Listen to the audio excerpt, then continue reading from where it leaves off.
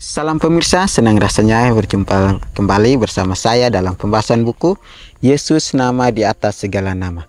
Buku ini ditulis oleh Nyonya Ellen G. White yang dalam tulisan lain, Yesus adalah Alfa dan Omega, pencipta langit dan bumi, pemberi setiap pemberian yang baik dan sempurna, dan pemikul beban besar kita.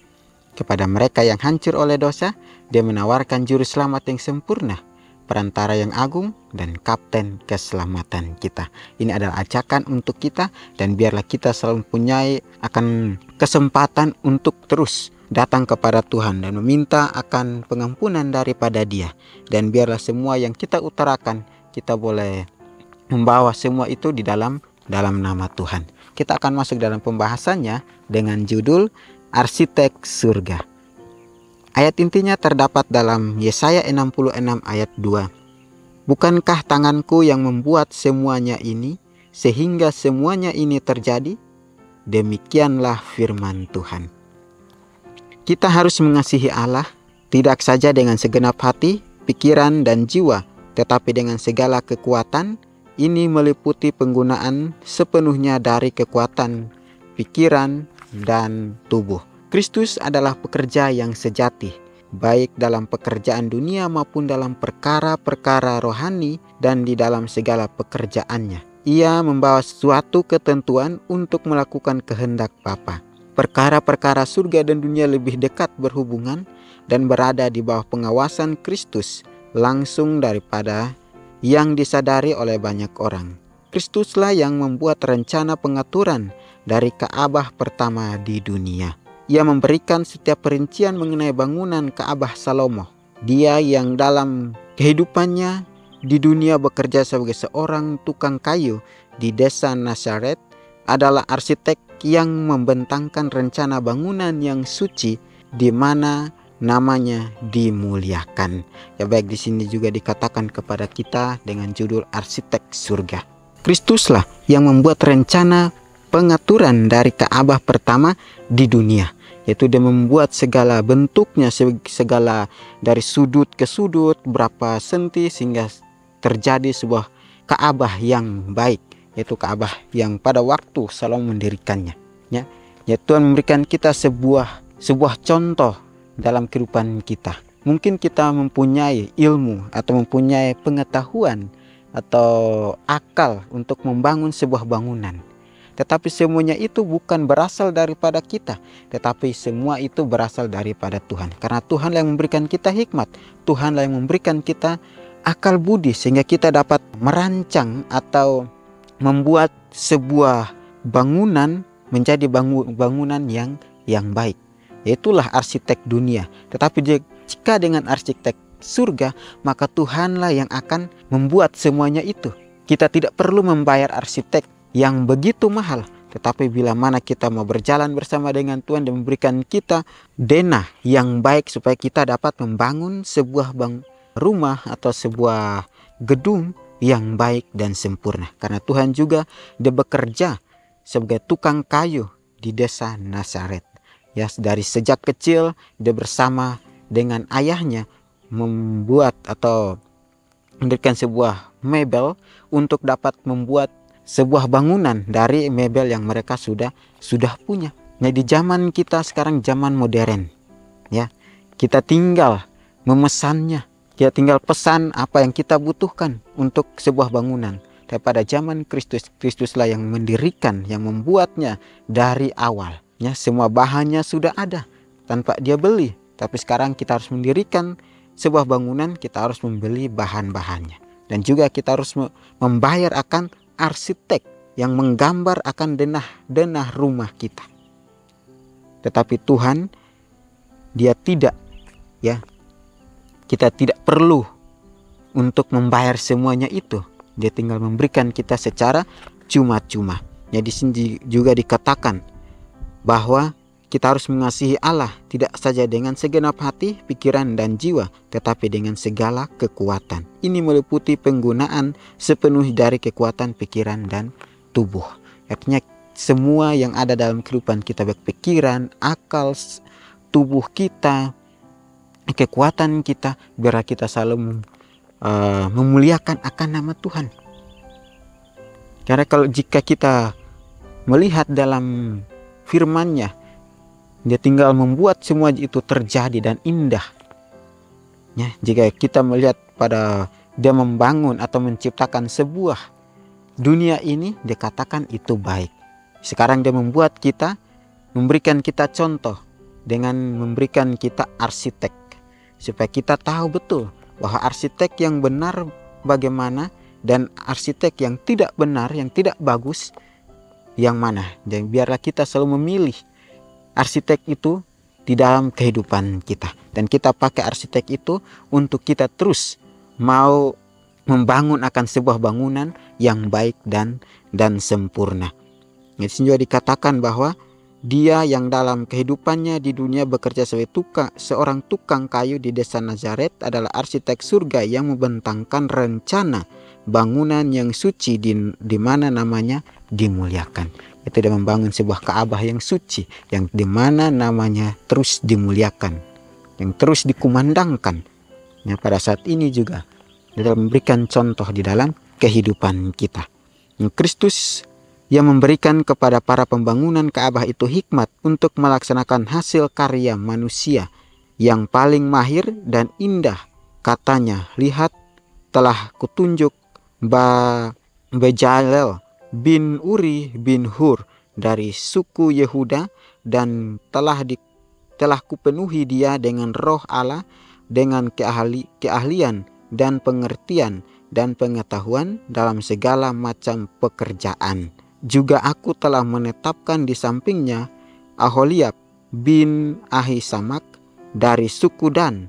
Dalam hati setiap orang ahli telah kuberikan keahlian. Haruslah mereka membuat segala apa yang telah kuperintahkan kepadamu. Ayat Kristus memberikan kepada para pembangunan Ka'bah itu hikmat. Tidak ada orang yang mau membangun sebuah bangunan atau membangun sebuah rumah tanpa hikmat. Satu mereka membangun itu dengan hikmat yang diberikan kepada mereka sehingga hasilnya bagus, sehingga hasilnya juga baik. Bayangkan kalau kita mau membangun tanpa hikmat atau kita hanya membangun asal-asal ya tidak akan jadi bangunan yang sempurna. Tetapi jika orang yang mau membangun pakai hikmat, bangunan itu akan terlihat bagus. Bangunan itu akan terlihat baik dan sempurna. Ya karena dia selalu memakai hikmat yang diberikan Tuhan. Dan jika dan kita juga harus meminta hikmat yang lebih dari Tuhan Jangan kita selalu memakan hikmat kita sendiri untuk membangun akan tempat atau membangun akan gedung itu. Tapi bagaimana kita meminta agar hikmat Tuhan lah yang yang ada dalam kehidupan kita untuk kita membangun sebuah bangunan.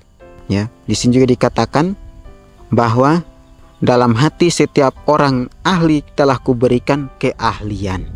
Haruslah mereka membuat segala apa yang telah kuperintahkan kepadamu. Artinya kita dia memberikan kita pengertian, memberikan kita apa yang harus kita kerjakan, apa yang harus kita lakukan. Kalau Kristus dia sudah tahu apa yang harus dia lakukan.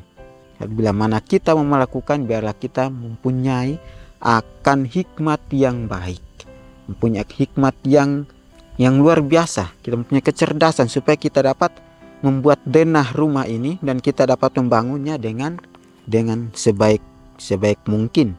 Ya Allah ingin agar pekerja-pekerjanya dalam setiap bidang akan memandang dia sebagai pemberi dari segala sesuatu yang mereka miliki. Segala penemuan dan perkembangan bersumber pada dia yang memberikan nasihat yang baik dan mahir dalam pekerjaan.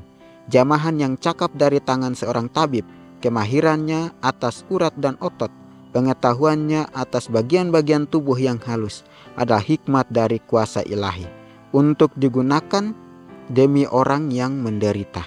Kepandaian yang dimiliki tukang kayu itu digunakan bagi orang yang sengsara. Kepandaian seorang tukang kayu yang menggunakan palu, kekuatan yang digunakan tukang besi yang membuat landasan datang dari Allah ia telah mempercayakan kepada manusia talenta-talenta dan ia mengharapkan mereka untuk memandang kepadanya dan meminta nasihat. Apa pun yang kita perbuat, dalam bagian pekerjaan apa saja kita ditempatkan, ia ingin agar kita mengendalikan pikiran kita agar kita dapat melakukan pekerjaan yang sempurna. Seri Membina Keluarga Jilid 5 halaman 267 268. Baik di sini juga dikatakan kepada kita bahwa Allah ingin pekerja-pekerjanya dalam setiap bidang akan memandang dia sebagai pemberi dari segala sesuatu yang mereka miliki. Ya, segala penemuan dari perkembangan bersumber pada dia yang memberikan nasihat yang baik dan mahir dalam pekerjaan. Dan memberikan kita satu contoh lagi atau pelajaran yang baik. Ya, Tuhan memberikan kita hikmat, Tuhan memberikan kita talenta. Pada saat ini juga saya masih belajar dari semua yang Tuhan inginkan. Ya belum sempurna yang saya lakukan. Tapi bila mana saya mau terus mau lakukan itu, maka Tuhan memberikan saya hikmat, memberikan saya kecerdasan untuk terus mau melakukan itu. Jika orang dia sudah memberikan kita keahlian, maka kita pakai keahlian itu untuk membangun sebuah gedung yang baik atau membangun sebuah karakter yang baik sehingga orang melihat bagaimana kita hidup, kita memencarkan bagaimana Kristus di dalam kehidupan kita. Ya Tuhan memberikan kita hikmat, Tuhan memberikan kita kepandaian, Tuhan memberikan kita keahlian. Jika kita mau pakai semuanya itu, kita mau membangun akan semua yang Tuhan inginkan, maka semua yang kita butuhkan Tuhan akan penuhi. Nah, jika orang yang tidak mau menggali terus akan semua yang Tuhan berikan, maka semuanya akan sia-sia. Jika orang sudah punya ahli, dia akan membangun sesuai dengan apa yang sudah dia kehendaki, apa yang sudah dia rancangkan, apa yang dia sudah rencanakan. Ya kembali lagi dalam kehidupan kita. Biarlah kita mempunyai akan kerenan hati untuk menerima setiap janji Tuhan. Kita mau menerima akan setiap pemberian dari dari Tuhan. Ya di sini juga dikatakan bahwa jamahan yang cakap dari tangan seorang tabib kemahirannya atas urat dan otot, pengetahuannya atas bagian-bagian tubuh yang halus adalah hikmat dari kuasa ilahi untuk digunakan demi orang yang menderita. Kepandaian yang dimiliki tukang kayu itu digunakan bagi orang yang sengsara. Kepandaian seorang tukang kayu yang menggunakan palu, kekuatan yang digunakan tukang besi yang membuat landasan datang dari Allah. Allah memper, telah mempercayakan kepada manusia talenta-talenta dan ia mengharapkan mereka untuk memandang kepadanya dan meminta nasihat. Ya Tuhan memberikan kita banyak talenta. Tuhan memberikan kita sesuai dengan apa yang kita miliki saat ini. Tetapi biarlah dengan apa yang Tuhan berikan dalam kehidupan kita. Kita mau praktekkan itu di dalam kehidupan kita. Sehingga setiap harinya kita dapat melakukan dan berjalan sesuai dengan apa yang sudah direncanakan direncanakan Tuhan.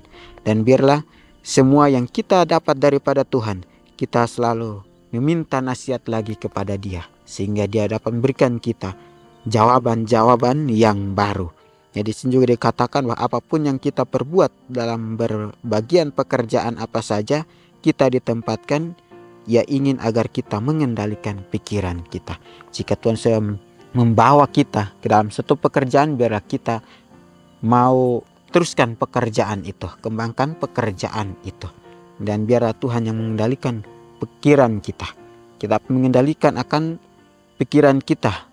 Biarlah kita selalu membuat sesuatu yang baik dan sempurna oleh karena kuasa daripada Kristus. Renungkan lebih dalam. Bagaimana saya mengasihi Tuhan dengan kekuatan fisik saya saat saya melakukan aktivitas hari ini? Pertanyaan yang sangat luar biasa dalam kehidupan kita. Ya, Seringkali kita hanya meminta berkat daripada Tuhan saja, tetapi kita tidak mau mengasihi Tuhan. Ya, apa yang kita lakukan saat ini, apa yang kita kerjakan saat ini, biar kita selalu datang kepada Tuhan. Kita meminta jawaban dari Tuhan dan biar kita selalu saling mengasihi satu sama satu sama lain. Dan biarlah semua yang kita dapat dari Tuhan, kita dapat kembangkan itu setiap harinya. Ya, ini adalah pelajaran yang sangat baik untuk kita, untuk kita praktekkan di dalam kehidupan. Kita Kita akan berjumpa lagi di kesempatan yang berikutnya dan Tuhan memberkati.